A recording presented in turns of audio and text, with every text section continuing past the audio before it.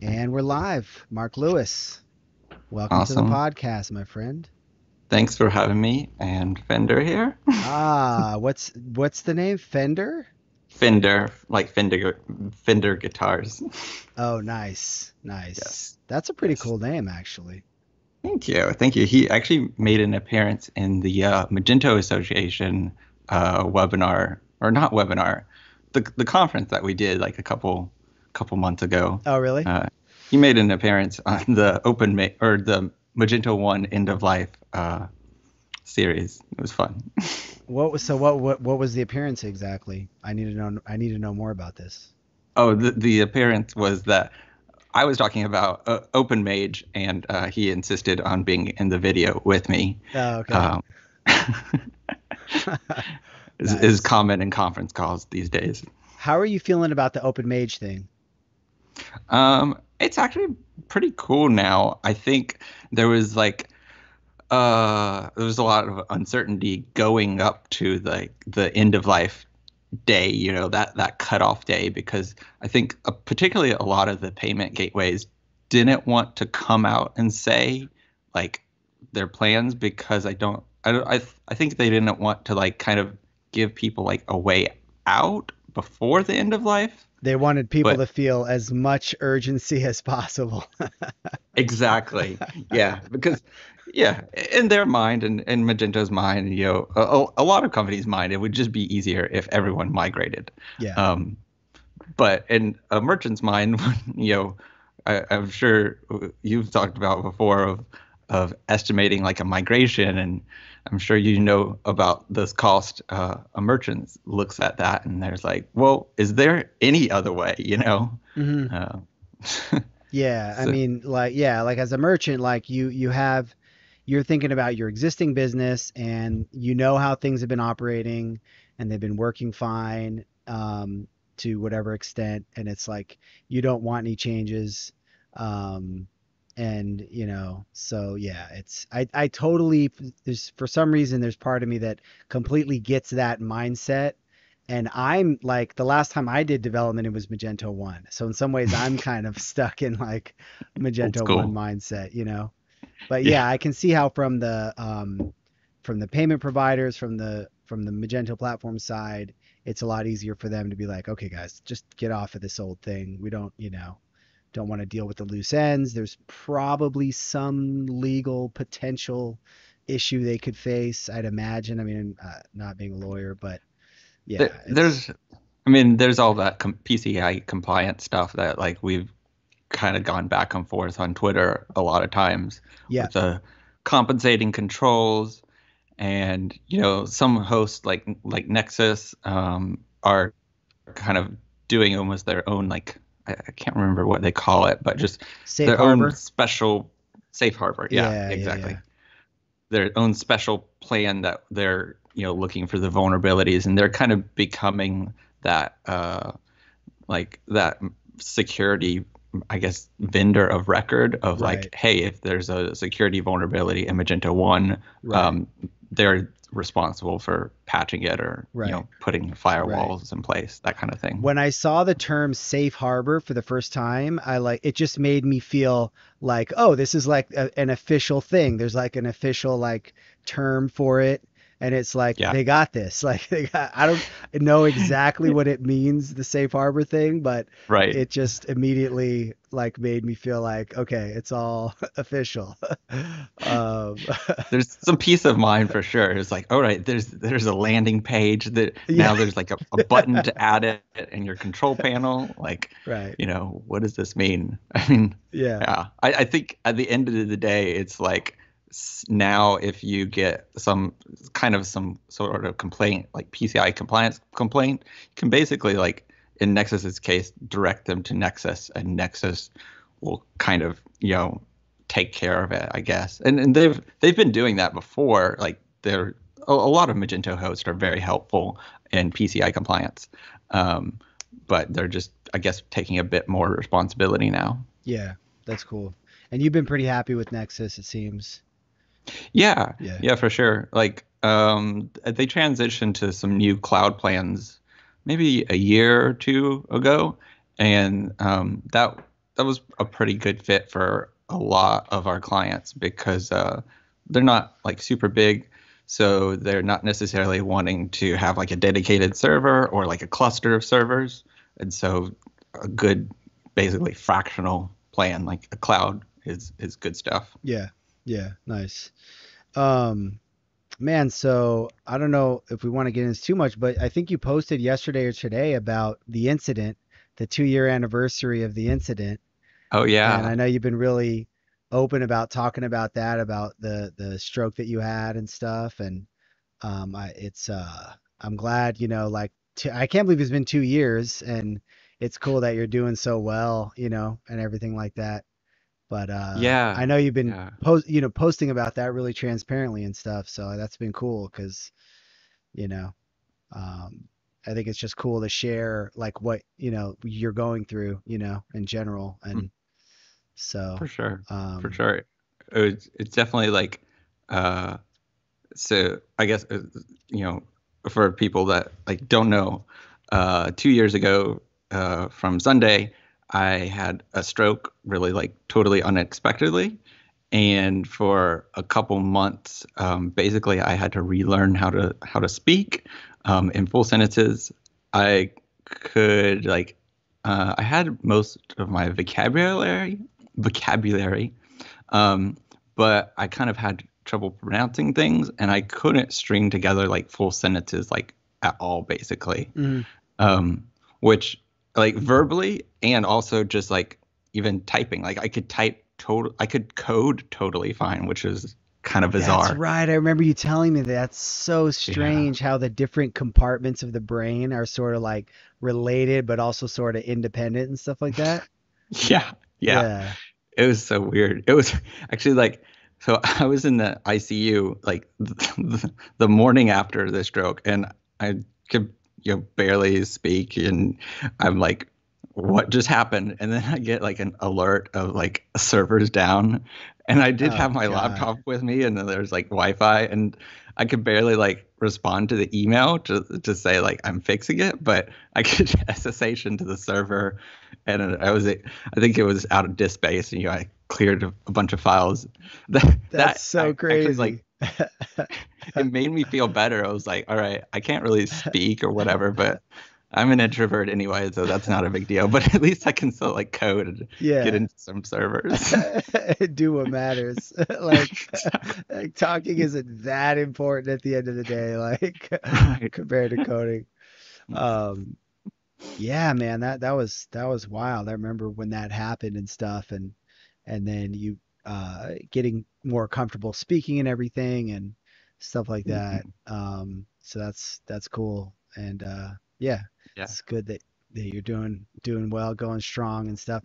And then you also posted, you said something to the effect of like everybody should have like what I I don't remember how you worded it. Uh, Like ev- everyone should have a little brain damage, kind of like an ice, ice pick lobotomy. right, like shake things up a little bit. Like, exactly. do you feel Yeah. like your life changed in some ways, like your perspective? Um, how did they, Yeah. yeah, Oh, definitely. I mean, I I think uh, on on a couple levels, like one, a bit of an existential crisis on, hey, life can be really short. Like, you know, yeah, I could have just died at at that point, um, or you know, had like terrible quality of life. You know, people that have strokes a lot of times have you know way worse things, and they don't fully recover ever. right, Um, and so, you know, at that point, I was, I kind of like after I recovered, I was like, well, there's like, I I don't literally like know what tomorrow will hold. So kind of like make the most of uh of the time you know I have and every day. yeah, So that was good. And then um the like the communication aspect was like really really fascinating to me of um, like relearning English because I don't I don't know any other languages, but like English suddenly became my my second language basically. that's so Um, weird. I would get like I would get in Ubers and in Miami there's a lot of Spanish speakers, probably like 50%. And my English would be so bad they would start trying to talk to me in Spanish. and and I also don't know Spanish. So Is it okay awful. for me to laugh at that, or is that It's horrible? totally fine. It's hilarious. I was like, God, I can't. I don't have any languages. I have code. I have Yeah, no oh. languages. oh, God. I, I try to learn so Spanish at that point too because I'm like I'm so bad at English like might as well but I, I'm also Yeah. I'm still very terrible at, at Spanish way worse than my English is now Gotcha. mostly Gotcha. yeah 99% Right. Well, if you ever want to practice Spanish, uh, I've been trying to. My wife has generally been pretty good about speaking Spanish, particularly to our son. He's young Mhm. enough, he's two, that um, it, it kind of is a good age. And just the last Yeah. week or so, I've started to be more disciplined about uh, speaking Spanish with him and stuff like that. And so it's been That's uh, awesome. Yeah, it's it's been cool, and it, it's it's it's cool because I'm a little out of practice, so the Spanish to a two-year-old is relatively simple. so right it's a good starting point, and then there'll be little words that I need to remember how to say or whatever. How do you say this? Oh yeah, okay, now I remember. Bonjo. yeah Yeah. yeah. so it's like a good place for me to start to kind of speak more that's often. that's a good age you know It's Yeah. like we can communicate in these basic sentences while you're still learning your primary language too Yeah, yeah, yeah. Um, I- Well, speaking of Spanish, is totally random. I found this Chrome extension the other day where it's called Toucan. Toucan. Yep, Yeah. amazing. Uh, it's so cool. It, it you know like replaces random words with the other language, and I'm like I have to disable it sometimes for work because it kind of gets in the way of things. But like I want to remember to keep it on as much as possible. Such a cool. It's one of those things. So it so it's an extension you install, and then whatever website you're on, it randomly picks a small number of words and just inline changes them to that language, and then you can hover over them to whatever to see what it means. And so it's one of those things you see it and you go, "This is such a simple idea. How does it? How did this not exist? How did I not think about this? Like." Right. It's basic you know it's like google translate but it's just a small percentage of the words to translate. It's Mhm. brilliant. Like i saw that i sent it to my wife because my wife is always thinking about language learning and stuff like that and it's such a cool idea. I haven't tried it out yet but um yeah, yeah it's a really cool It- idea. No, it works well. I, I think it over time it, it like chooses more words and you know it, it ex- expands on like what you know. oh okay. Okay that that actually sounds a lot more complicated than just randomly replacing a random number of words like Yeah. Yeah. Like if it I- tries to keep track of like which words have you done before, let's not do that word, let's do a different like I could see that getting pretty complicated. Right. Yeah. I, Yeah. I think it, it it's more complicated like that, but I you know just haven't tried it for Yeah. very long. But I think I cool. actually tweeted the maybe the founder or somebody this morning because there's this concept where you can like own a word. that was Toucan too. Yeah. And I don't I don't get that. Like I saw that yesterday somebody like owned the word love and I was like that's cool. How does that work? And I clicked on it and I was like I don't get it. How what is that what does that mean? I didn't understand it yet either. Okay. Gotta figure that out. Like- adver- maybe they're gonna sell advertising on certain words or something. I don't know. Maybe, yeah. I Mhm. mean, if that was a monetization model where you could somehow, like as a user, like pay for a word, I don't know. Mm. It's it'll be Yeah. gotta figure that be out. like if you don't buy the premium plan some sometimes your words you know uh agua would be like would you want sparkling spring agua right. from aquafina now right, right, right, right, right. That that'd actually be kind of a neat advertising model, you know. There's so Yeah. many advertising models that are kind of just annoying. Well, they're all sort of annoying, but um, yeah, YouTube. We're thinking about paying for YouTube because like our daughter's starting to use it more, and like I just the idea of my kids seeing ads like drives me crazy. Like somebody's basically paying to control my kids' brains. like right it's one thing if they're doing it to me and I can like fight it off and stuff, Yeah. but it's like I, you know, so yeah. Do you, you want have to filter that out Yeah, you do. You wanna Yeah. you wanna filter it out. I, I Um, especially like for kids I, I remember like saturday morning cartoons and you would get like inundated with commercials and i'm i'm sure i asked my parents for, like I, I want fruity pebbles now you know like if you can control your kids not begging like for fruity pebbles like definitely that's worth like ten dollars a month. Yeah, yeah, yeah, yeah, yeah. It was it was weird. I was talking with my my we were having dinner and it, me and my wife were talking about uh, pans, like frying pans, and she's like, I think I need a new pan.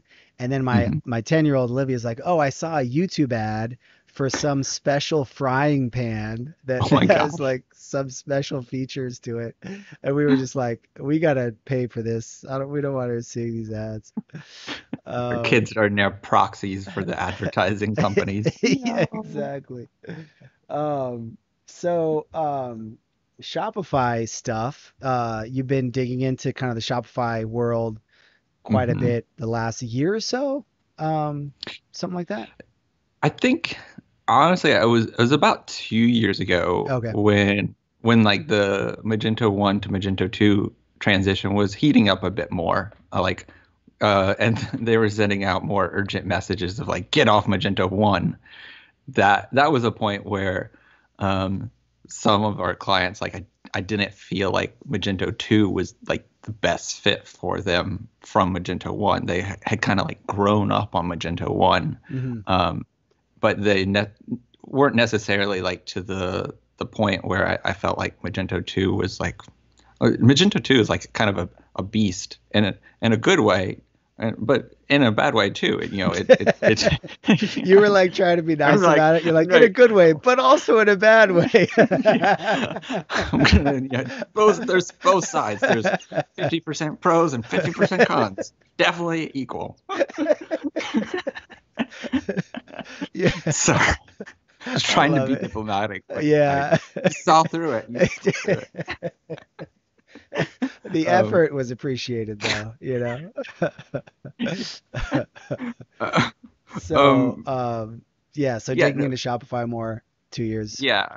And and at that point it was like, all right, I don't love it as a developer because I'm very much a developer at heart. I, I want to have full control over everything. Um, and Magento ultimately, you know, we you, we can tell clients of like um, we can do whatever on Magento because we have full access to the code. It's just like it's budget and, and time. Um, so I I felt like for a while like that's that's the best.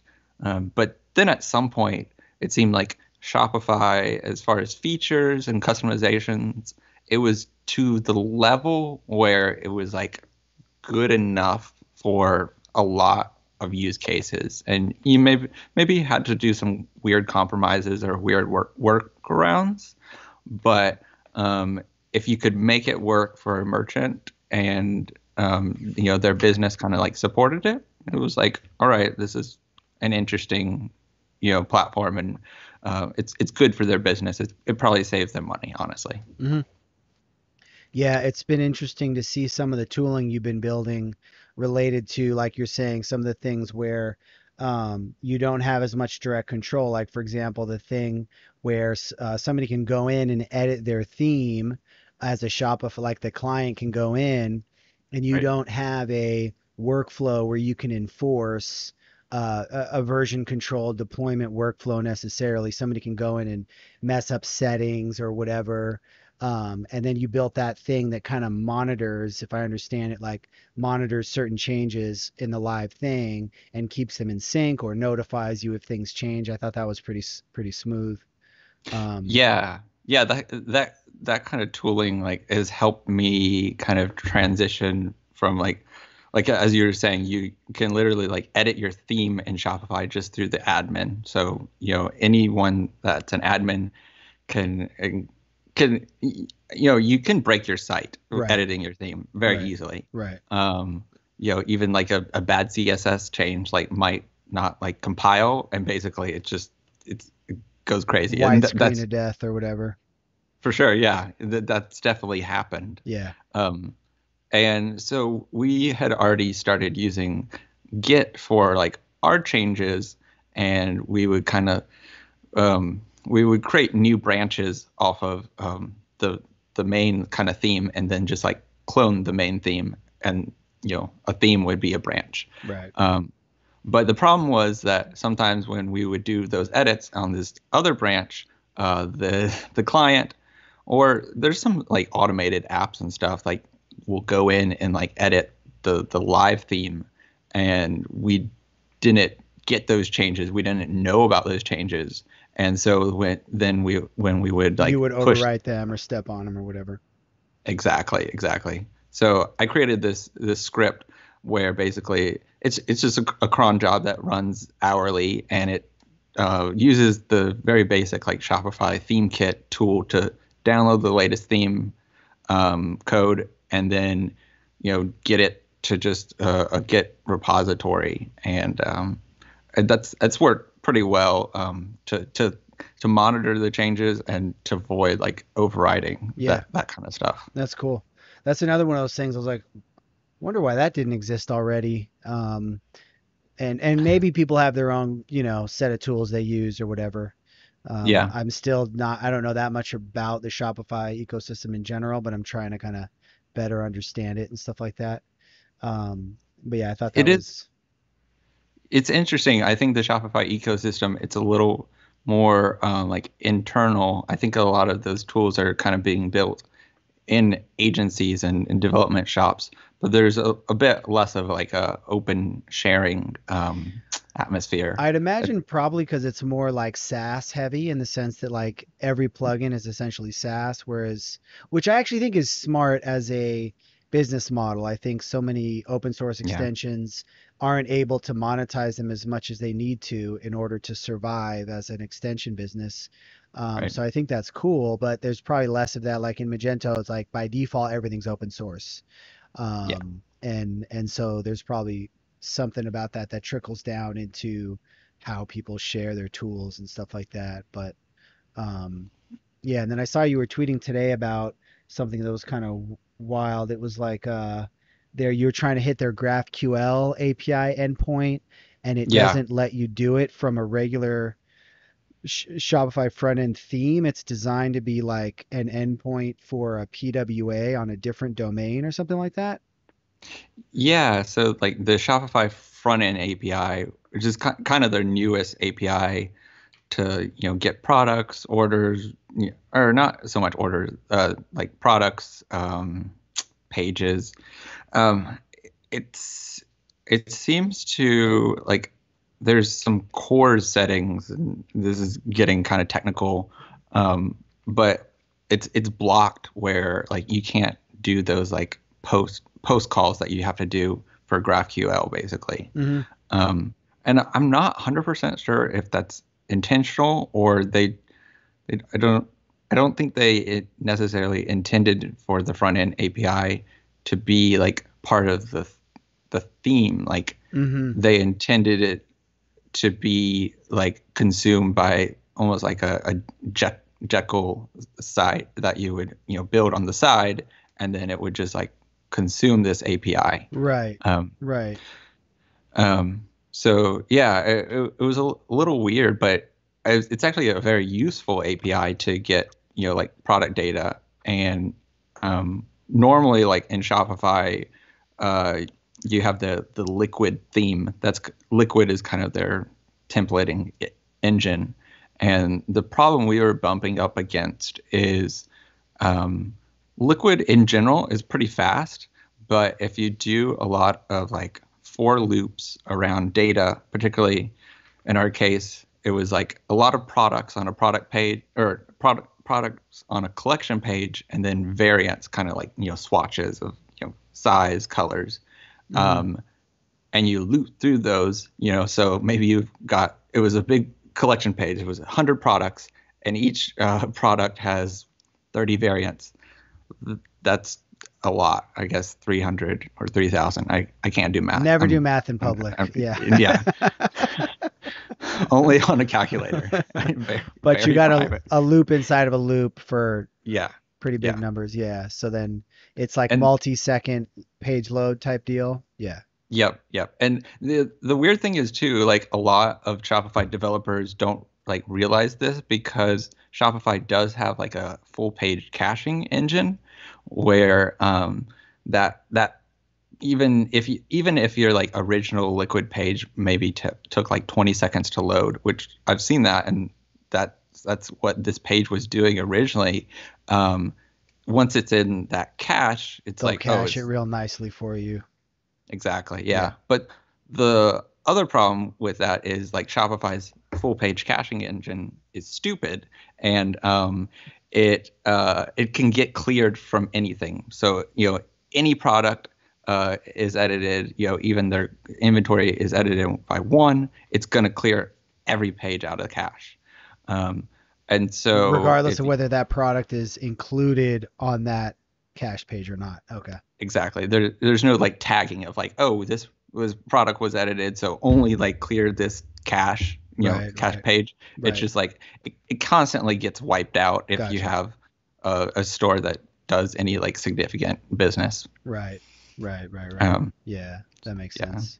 Um, so yeah we you so we like i i use this api this front end api to try to get those variants instead of you know having that like really low slow loading um, time and i couldn't do it directly because of that limitation but was able to build like a, a worker in cloudflare where w- cloudflare workers are kind of like the serverless like little node js like Right. server that you can do right. and this worker is able to reach that Shopify API, and then Shopify, our theme in Shopify was able to get that data from that worker. So hmm it, was, it, it required an extra hop, but it was actually like working pretty well. That's so pretty cool. I'm kind of excited And to then see where that goes. and so then you just basically like for the CORS policy, you can just whitelist your worker uh, domain, the do- the whatever Cloudflare or uh, CloudFront domain of the worker. Um, it, kind of the other way around. In the worker, I put the CORS domain of saying like whatever www.com. That Okay. that's that's approved to get information from from Okay. this. Okay. Yeah. Okay. But then how did the how did the CloudFront worker grab the data from Shopify API if that CORS policy was blocking Um, domains? because uh, the Cloudflare worker almost like works as more of like a, a backend like Node.js server and not like um like a like a front end JavaScript. Oh, I get it. Okay. I think I get it. it's like if you basically use PHP to to consume this Right. API. You know, Got from Shopify's perspective, it, it looks no different. Right. Okay. Got it. Yeah, I hate it when I hit a. uh, It's funny. I I hate it when I hit a CORS policy thing. I usually do that with like my own stuff, and then I'm like, oh, I gotta go in and put the headers in and, and stuff. it's easier when you have control of both sides. exactly. Um, I mean, that's one of the things. Like, if you have full control, of Magento, you know, you could yeah. just set it simply. Yeah, But yeah, yeah, sometimes yeah. you have to do these workarounds. Yeah. Um, so then on the on the other thing on the on the Shopify front, you had posted about the disarming the rebels uh, post, Mhm. um, which I I read the first thirty percent or so pretty closely, and then I kind of skimmed. That was a long post, but I probably is- skimmed it a bit too. But his thing, I guess, was Tobi was said, "Hey, we're arming the rebels in the sense that you know Amazon is the 500 pound gorilla, and then on the other side, there's all these independent merchants that they're essentially, you know, helping to uh, build you know great e-commerce experiences. And then this guy Mhm. was saying, well, they're not just arming the rebels; they're sort of arming everybody, and they're sort of creating this arms race so that everybody kind of has the same tools, and so." uh, everybody is sort of then on like a level playing field, um, but kind of in a bad way because I don't know. I, I did it didn't totally add up to me why that's a bad thing Right. for everybody to have good tools. Um, yeah. I guess it's like bad for whom, you know, probably so, maybe bad for for some merchants. It's it's probably good for consumers overall. You know, like it, it does like drive down prices and it creates competition.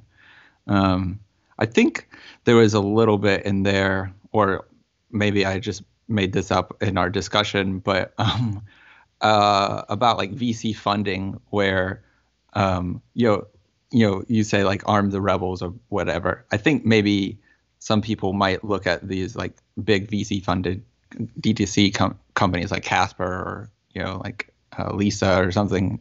It's only mattresses. There's so many mattresses. So many now. mattress companies. It's in, absurd. Yeah. I, I mean, like that's kind of almost like the point too. Is like, all right, there's so much money and it's so accessible that you can anyone can start their own mattress company now.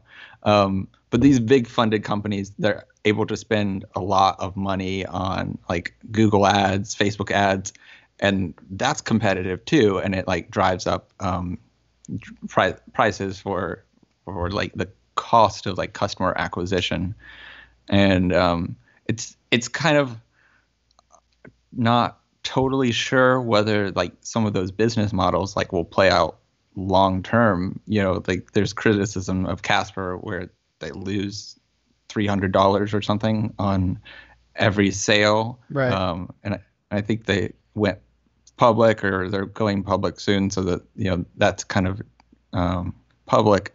That information is public, um, and so I guess like if they're just like spending a lot of money, like driving up prices, that is bad for I don't know a, a, a start or just someone a regular person that wants to do mattresses or any kind of similar product. Um, it's not really accessible anymore. It kind of raises the barrier to entry that you can't just like the the the kind of the idea behind arming the rebels is like the little guy like the little guy can start you know Right. an e-commerce business but then there's all this VC money in they're all probably outbidding each other on advertising and things like that and then it's kind of like there's probably this huge barrier to entry now where it's not so much the little guys that can is especially if you're talking mattresses specifically I'm sure it's different in each category Yeah. like mattresses just seem complicated to begin with. Like you got to get like purple scientists and you got to like design that perfect mattress and stuff. right. And you have to Um, compress it in a box this size. I don't. That's, I don't even- magic. How they do that. How do you know how they do that? Yeah.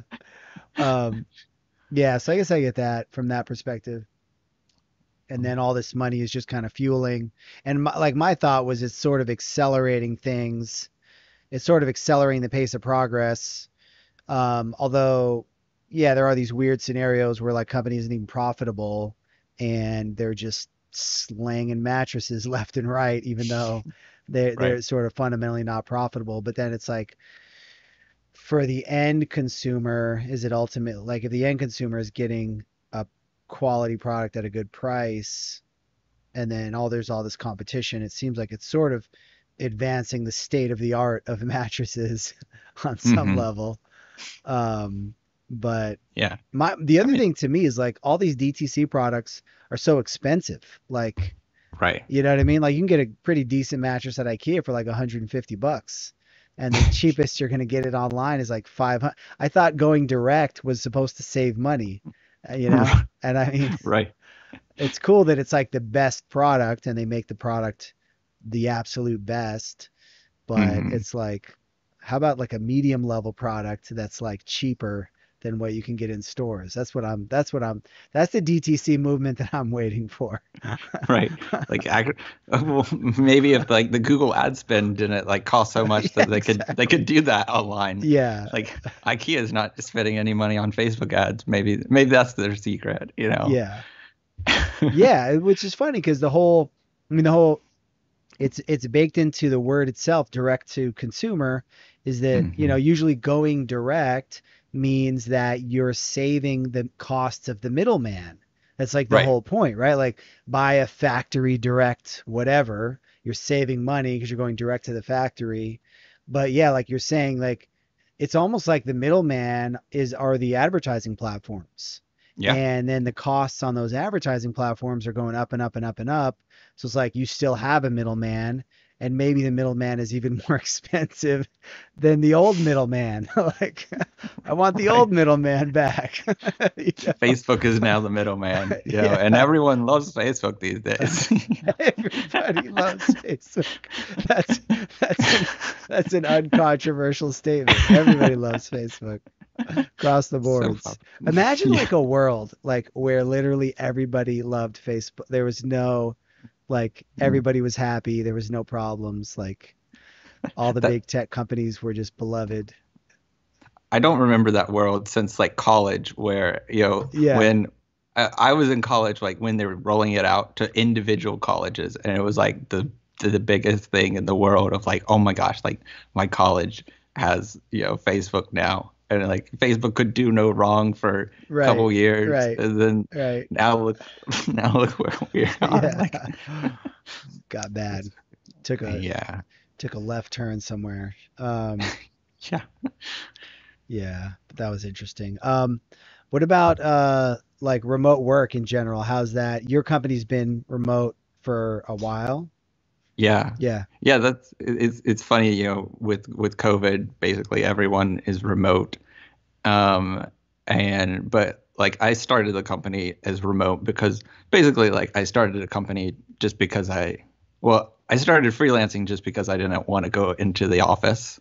Um, I I tried one time. I had a job back in the day. I had a job, and uh, I just t- tried not to go into the office like for two weeks, and uh, the CEO like emailed me. It's like, hey, I haven't seen you around. and I was like, oh, really? you just you just literally stopped going into the office.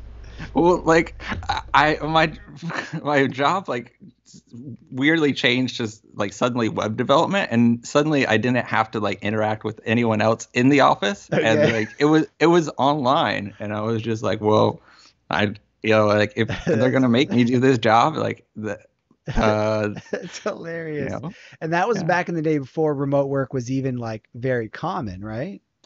Yeah, yeah, that was like 10 years ago where I mean the I think the 4-hour work week had come out. You know, the 4-hour work week is kind of like the the birthplace of uh The manifesto of on remote work. Exactly. And I I think one one of the tricks in the book is just not to come to work for 2 weeks, you know. Oh, okay. Uh, Was that or- why you did it? Did you read the book and then I think so. I I think I read the book around that time and I was just like that's I, actually, I think it was like convince your boss to let you work from home, but I was, you know, it was like ask for forgiveness instead of permission, Yeah. you know. Um, yeah, and at that point, and it's different. It's different in different company cultures, you know. Uh, that particular company like really likes to have like people in the office, and it's kind of like a, a you family. found out like, the hard way. You found that out the hard way. well yeah they didn't fire me like that's that's a nice thing about like being like an essential part of a business you you can kind of like get away with some things and be like oh okay sorry i didn't know or Yeah. you know as long as you do your job well like Yeah. that, that's the important part to, to do your job well Yeah. um you know they keep you there despite like your personality Yeah.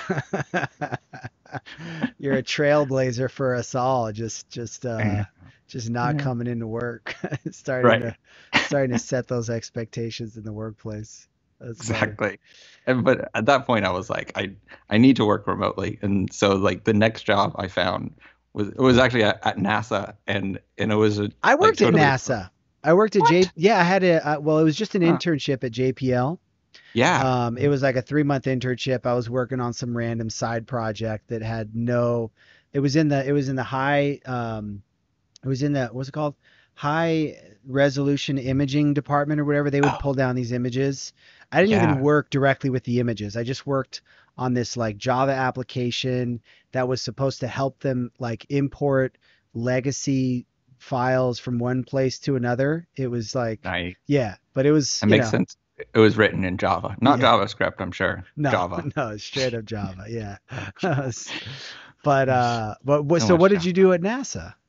Um, so I uh, I I didn't really have this kind of experience to get this job, but the the hiring was they they didn't know. Uh, but uh, my job was to maintain like the security of all their Macs. So like you know they have like six six thousand or so like Mac computers across the you know different centers. Dude, that's a And- big freaking job.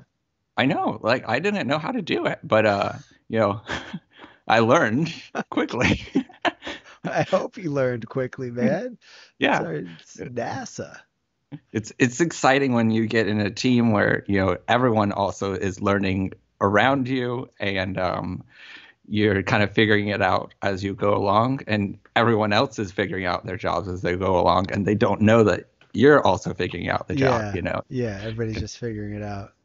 yeah, it was kind of like a startup. Um, Nice. it was it was a weird transition. Um, I don't know. I guess that was like eight years ago. Uh, Hewlett Packard Enterprise Services, um, which is Hewlett Packard, but it was basically more of an IT consulting company, was kind of taking over the management of like the desktops, laptops uh, at NASA. They had won this big contract, Oh, okay, and gotcha. so we I was like hired like really at the beginning of that contract and we had to like set up everything and kind of like take over. So kind of like was like a startup um, within NASA. nice. Um, so we we learned together. Nice.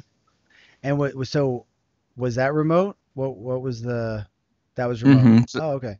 Yeah, it's funny like they hired me and like I didn't even like meet any of my coworkers until I had been like working there for like 3 or 4 months. Um, I think honestly, I think they were all pretty shocked at like how young I was like when they finally met me. But at that point, I was like, he was like, well, he has the job. Like he's been doing pretty well for the past few months. So I guess because he can do it. So Dude, that's That was, like- insane. yeah, remote work. I remember I had like a like you know like a badge, you know like a security badge to get in, Mhm. and I can't imagine that they would have done anything remotely. You know, Mm. that was such a long time ago.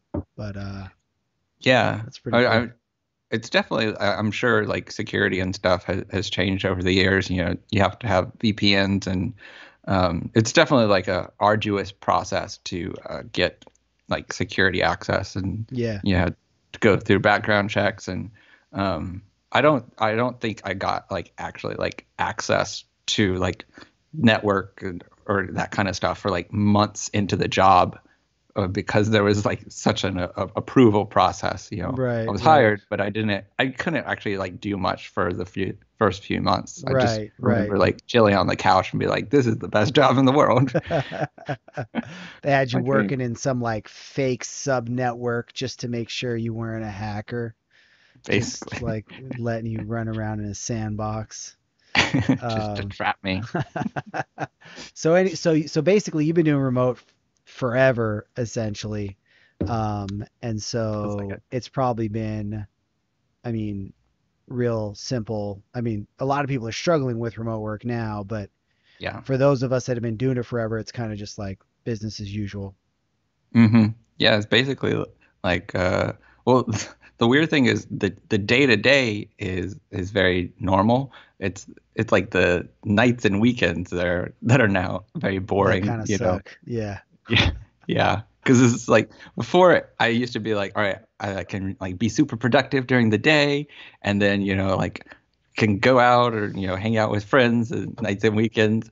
And now it's kind of just like the days and nights kind of blend together and uh yeah, it's just like okay, like I can work I, I feel like it for a while like product productivity was like a bit down for me because I was like, well, I can just like stretch it over more time because like there's not so much urgency of like getting my work done to do whatever like Mhm. like traveling you know like I used to do a lot of a lot of traveling um and uh traveling is is a bit more complicated these days Yeah. you know Yeah, to say the least.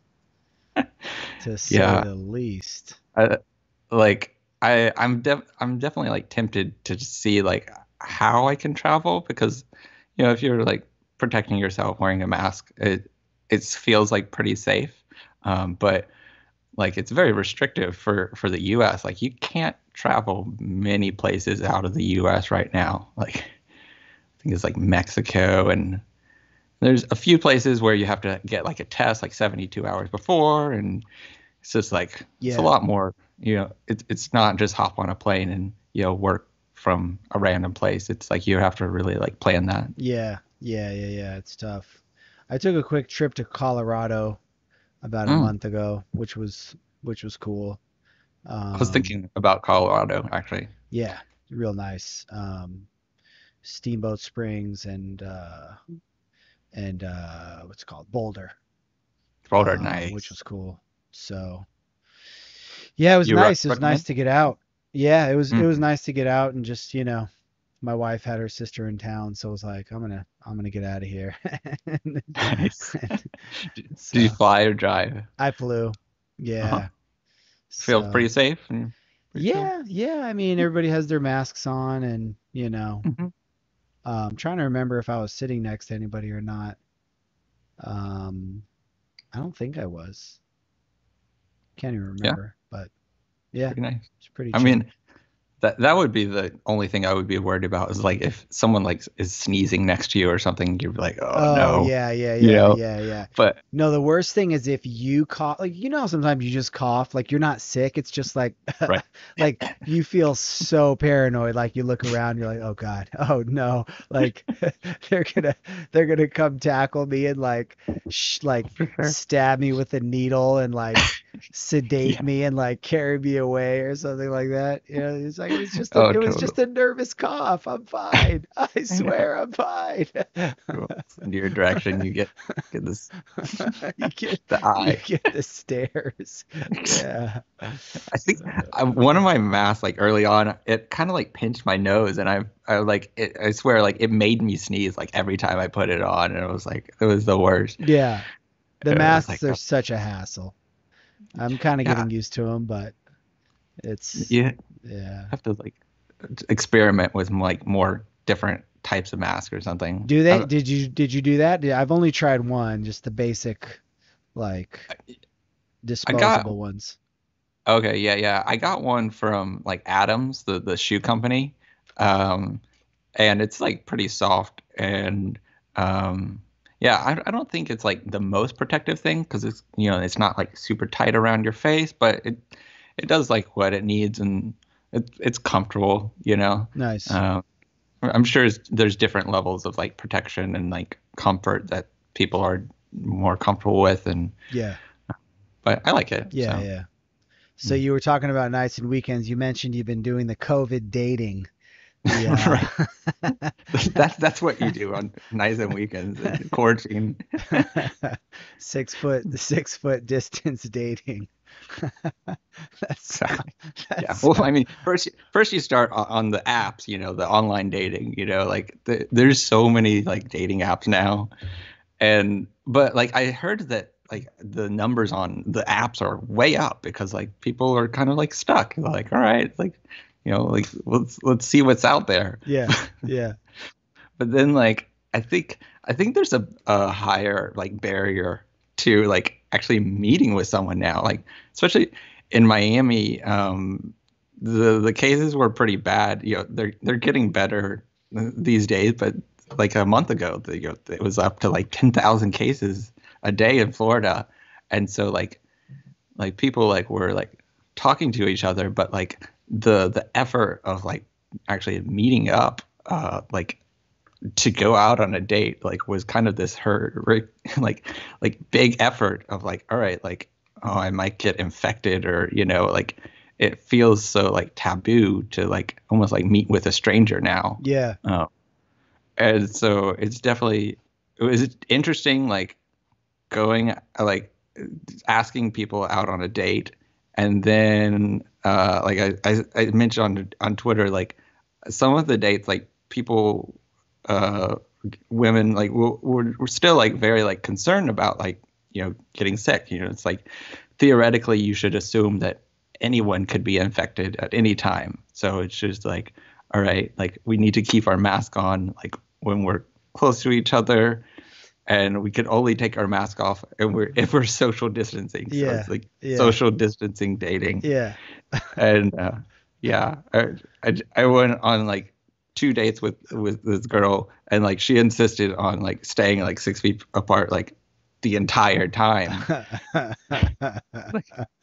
Good, you can have good conversations, uh, but it is it's a little weird. Like it it almost reminded me of like being in youth group, and you're like uh like like leave room for for Jesus. It was Gotta like leave you know room no, for the Holy Spirit, brother. exactly yeah, no touching. You know. one one time we did touch hands and then we immediately sanitized our hands. you know. nice, nice. Yeah, that sounds uh That sounds like a hat. Like, why not just get tested beforehand? Like, if you're gonna go on a date, why not just be like, hey, we're both gonna get tested, whatever period beforehand, and then like have an Yeah. actual regular date. You know? That, I mean, that kind of makes sense. Oh, it does and it doesn't. Like, I feel like people don't get like tested unless they like really like know or they suspect that they're infected because hmm you it's Probably a pain a to wait in the line. Yeah. Yeah. Uh, you don't get your results sometimes. Like in Florida, sometimes it's like delayed for like five or seven days. Mm. So it's like, and you could get theoretically, you could get infected get in those five to that seven. window. Yeah, yeah, yeah, yeah. Yeah, yeah. So I don't know. I, eventually, like I think people have chilled out a little bit, and it's just like, all right, like this is a risk, and it's it's a weird situation in, in Miami. And I, I think a lot of sit- uh, cities where like you have to wear a mask generally, like when well, you definitely have to wear a mask like inside a place. And then there's only outdoor seat- seating, and you have to wear a mask until you sit down. Right. And so that's like it's been funny like this this ceremony of like going on a first date and you know we're wearing a mask and then we get to the table and like it's unveiling the you know our face you know right, right, all right. like like it's like someone could like really catfish you like really Right. well it's like wait, wait I didn't recognize they have a beard or something. Yeah, like it's like it's like the thing with like in the in like uh what you call it like in uh in like uh what's the movie with in like um not Prince of Egypt the Disney Aladdin. It's like it's like yeah back in the like day where like they until they get married they wear the face veil and then you get married and then they take the face veil off. You find out find out what you got. I think there's like an Old Testament story too Yes. uh that- Rachel that's not Rachel the dude Okay, he works for seven years and then marries the daughter, and then he gets faked out, and it's Yeah. the wrong daughter. daughter And then and he- he's supposed to work for seven more years And he's like, "Yeah, that sounds reasonable. I'll do that." Right. it's a very, very different uh, levels of patience back then. I like swipe for seven minutes and then you know I go on the date with the wrong person. Exactly. It's like I want a refund. um, it's just it's a, no, a whole like other social norm that you kind of have to figure out of like what are you comfortable with and I don't know. I Yeah. I think I think I've gotten to the point where it's like all right like we're like out on a date or whatever we're we should be comfortable with each other but then you know when you're walking around and stuff like you kind of have to put a mask on um and that's just random people that you don't know or you're not going to talk to. You know, they're just random people. yeah yeah for sure Yeah. it's it's weird. I, I feel like uh like n- not seeing people's like facial expressions like fully. Yes. does does change the dynamic. Yes. It's so weird. It like it's so weird. It, it it it almost it's like it almost is sort of dampening like the level of emotion that you feel hmm just in general about people that you see. It's almost like Yeah, it feels like a little more robotic, like we're all a little more robotic. It's Um, almost like a phone call because even though you can see your fa- their face, like you don't have all all of the like nonverbal like expressions that you're Mhm. used to getting Yeah. like feedback. Yeah. Like Yeah. it's a bummer how you can't just like smile like you know so like I'll sometimes just smile at somebody if I'm walking by them or whatever and Right. like now like if you if you smile real big you can kind of see in the eyes, The eyes, exactly. but if you not you just look like you're death staring some somebody. It's like super creepy. So so then I just don't don't make eye contact at all right? So Right, it's right. just like yeah it's so weird. I, I feel like there should be more transparent masks. Somebody was saying that they have those and stuff like that for some people. I've seen pictures of them and they're really creepy. Like I had they? that same thought too, Uh, but it, it when you actually see pictures of it, like you should Google it sometimes. it's just horrible.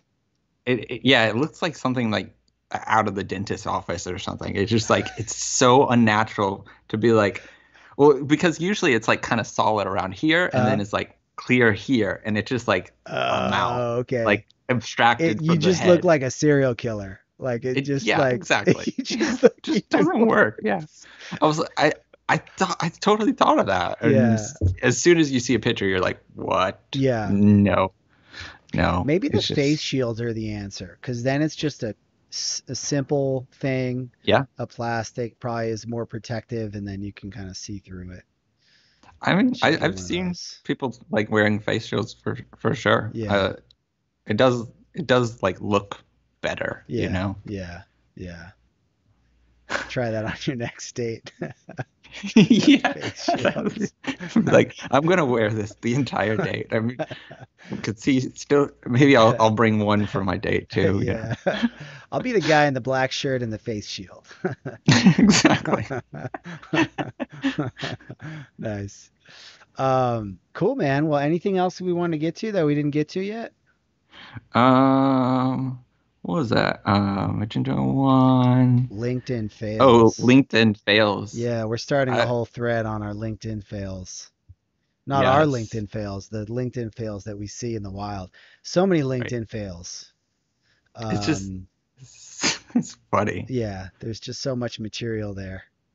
I, I really like I started like feeling like they're like pickup lines, like terrible pickup lines. Like Yeah. you know, Yeah. like I I just saw you your profile and you looked like you're in e-commerce and we should hang out, you know. Yeah. I mean, we should connect, you know. Yeah. yeah. Everything is merging, right? Like LinkedIn is becoming TikTok, LinkedIn is becoming Tinder. Like everything is just it's all it's all blending together. Yes, yes, Yeah. definitely. I mean, all the social media, or that is funny. One thing I, I just just reminded me of too is like I've realized these days, like when you go out on dates, people look you up, people stalk all of your social media accounts. Oh yeah, that makes sense. I would definitely do. Like I've never dated in this time period of so many digital footprints and things like that. I Yeah. would check out everybody. I would check out all your stuff. I'd want to know Mhm. everything. What kind of LinkedIn comments is this person posting? What Right. kind of tweets? You know? Does this person have a job? Uh, yeah. Um, yeah. it's important in Have Miami. they been there at least two years? You know, like you want to Oh, see that. You know, like Mhm. you see Are they a little stable? yeah, you see three like six month jobs in a row. That's a red flag. Yeah, that's a, Definitely, definitely. that's a And- real flag. if you see they're like a business owner like me, that's like a very like kind of sketchy. It's like, do they have a job? Could go they either have way. a business. Yeah. Yeah, yeah. Are they a business CEO? You know? Exactly. Yeah. And you go to their website and you're like, well, all their employees are cats, so I'm not sure if like this is a legitimate company. So Yeah. I don't know. yeah, yeah. so you were saying that uh you're saying that everybody looks up your social media stuff and Yeah, yeah. that's just the way it is. That's like you know, we, we live online. Yeah. know, Does all- it make you think about like, let's say you're getting ready to go to like you connect with somebody and then you're like you enter the phase where you're like they're going to check out all my stuff. Does it make you mm-hmm. think differently about like how you're posting? Oh, like how is this potential date going to see this or that or whatever? Like a little bit, a little bit. I, de- I definitely like I'm like all right don't like post thing don't post too much about previous dates Right. of like right. which yeah I have done so far so you know Yeah. still single so you know I don't know how how that's gone so I don't know it's definitely it, it definitely like makes you think of like all right everything I do is kind of public Yeah. and and like I guess most people should think that anyway. Yeah. Um, but sometimes you assume that like your your like public information is a little siloed. And I Yeah. guess people Facebook is sometimes more private than their Instagram, LinkedIn, or whatever. Yeah. But I don't know. How do you feel about that? Yeah, like when I'm tweeting, I just feel like it's my own little bubble of people that I I know on Twitter, like you, and like you know people that I've met at conferences, and then there's very very much so certain people who I know from other contexts who I don't Mhm. at all imagine involved in that world. And then sometimes Yeah. somebody will randomly go onto Twitter from like another part of my life, and I'll be like, whoa, whoa, whoa, whoa, whoa, wait, wait a minute, wait a minute, wait a minute. This There is was let's see, uh, this shield, this separation. Yeah. yeah, yeah, there's Yeah. supposed to be a separation, but it's like, no, this is all fully public, a hundred percent public. So it's Right. a, it's a strange, um, yeah, it's kind of a strange thing. I did make my account private at one point for a little while, Mhm. and it was cool, but then like, you know, things like you could just get less distribution, like people can't retweet, like, you know, because you kind of want um, you want to connect with the people you know, but you also want your ideas to spread a little bit to meet new other Yeah. people. So, Yeah. you know, it limits that if you make your stuff private, you know. Yeah, definitely. I, I feel like Twitter is a different beast, and if you're if you're private, you know, it's more like an inclusive club of like, oh, this is my my my people, like my ideas are only going to these people. But I, I do think I like the value of Twitter of like give getting into the the public conversation and especially I mean I know people have different feelings about this, but now like if you see in your feed of like someone's favorited of like one of your friends or your followers or whatever favorites something else, sometimes you see that in your feed. Mhm. And I think it like contributes to some cross pollination, which is I think it, it's good. Yeah. Um, and it's you know you get you get exposure to to more ideas than you know you would originally just like get from your followers. Yeah. Yeah. I actually like those recommendations. Um, I feel like th those ones show up more on the desktop for me.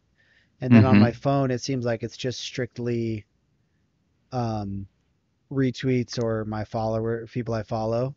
But then on the Yeah. desktop, it shows random recommendations and stuff like that, um, which is It, cool. it is weird. Yeah. It's, it's definitely a different feed on desktop and mobile. I've I've noticed Facebook too. Like I I see totally different content depending on desktop or mobile. Yeah. Yeah. Uh, It's weird. I don't, I don't understand it. And then and then Facebook like suggests me to be friends like with everyone I know on the other platforms. Like yeah, I don't know. Like, how do you know? How do you guys you. know all this stuff?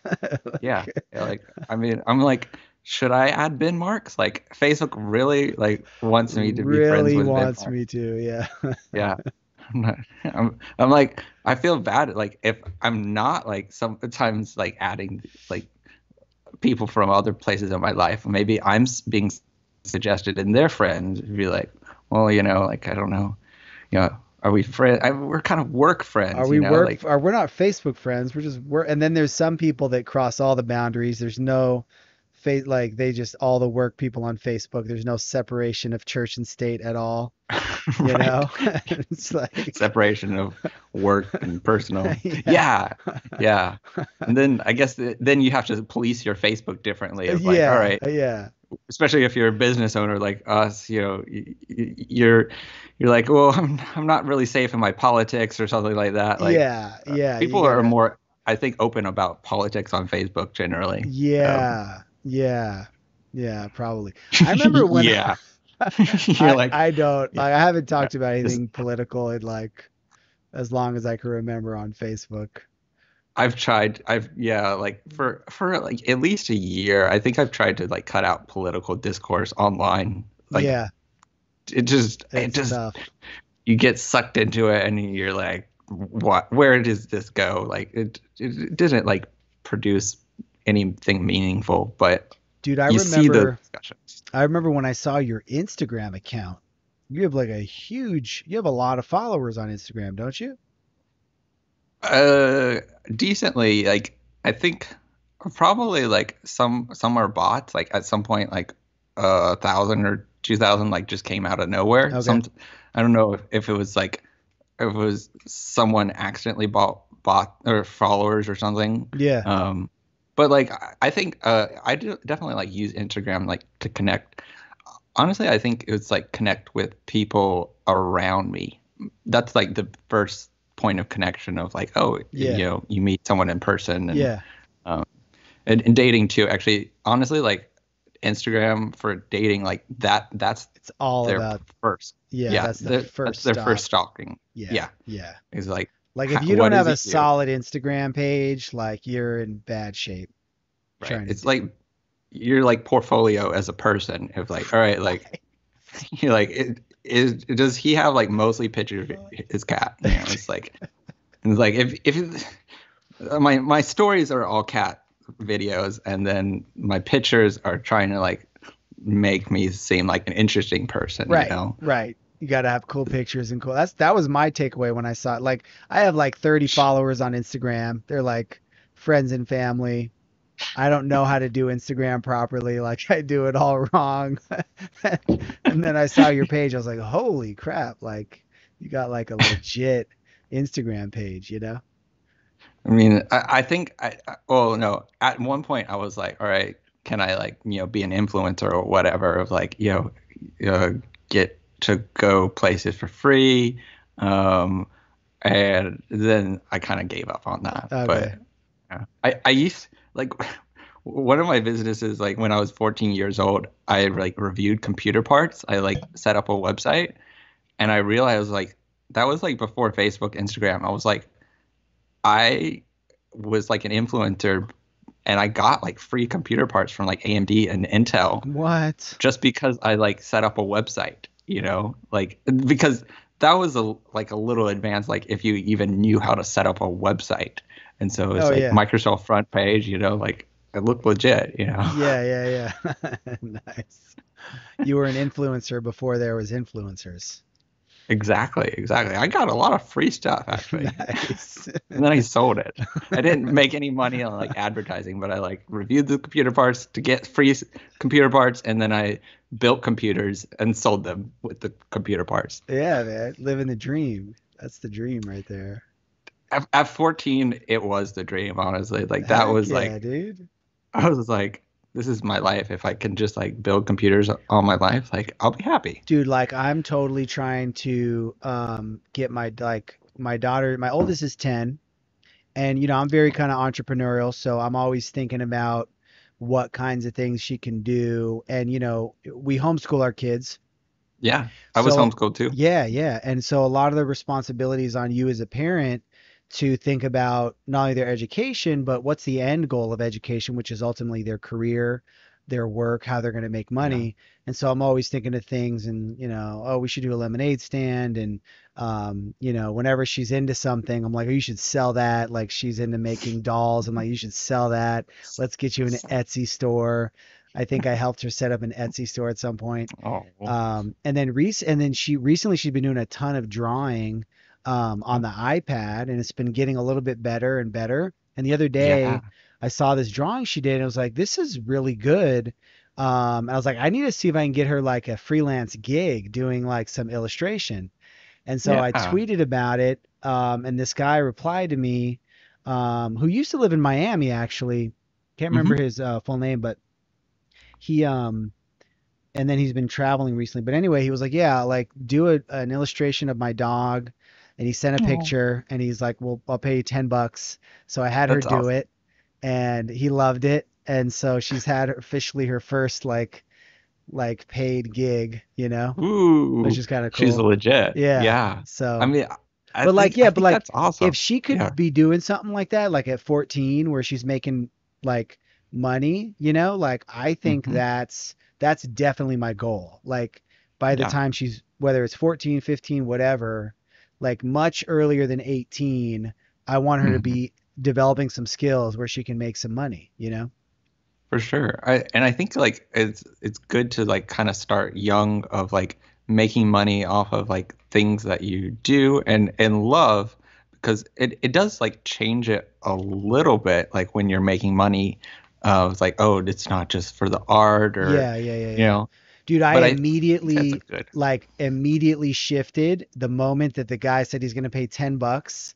Like uh, she did the first draft of the drawing and I was Mhm. like, and normally she shows me her drawings and whatever it is, whether I like it or not, I'm like, oh, that's really cool. Good job, you know? But she shows me this first draft and I was like, oh, do you want to do a second draft? Because I didn't think it was feedback round. you know? yeah, yeah. And I immediately went into like the client mode where you're kind of critical. And then I was worrying Mhm. about it because like, oh my God, I don't want to make her hate to draw. But I Right. also want her to kind of explore this entrepreneurial side. Um, but it but it definitely does impact whether it's art or whatever that whether it's coding.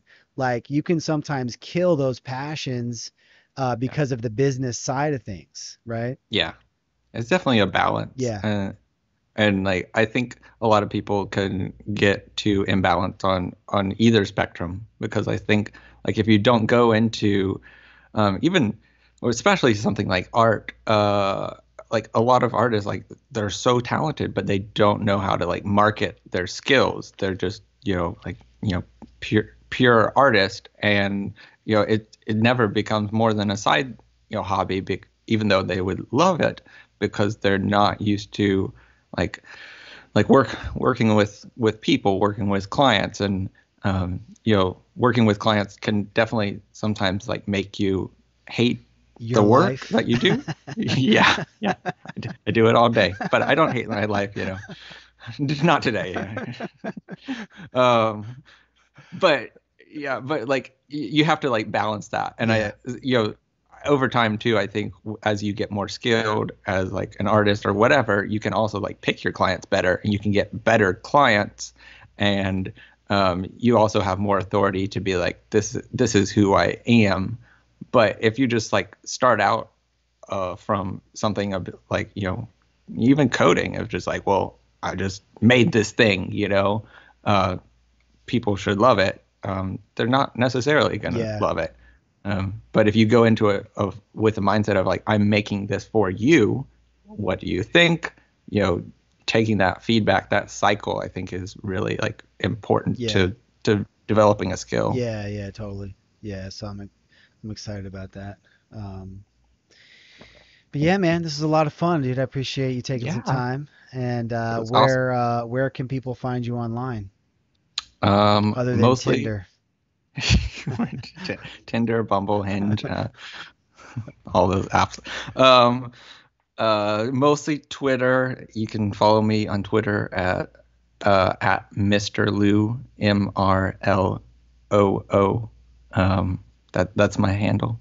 And uh, yeah, I think that's that's a good place. Twitter. Yeah, don't stalk me on any of the other platforms. Okay. I'm just kidding. Nice. It's it's probably linked in my profile anyway. Nice.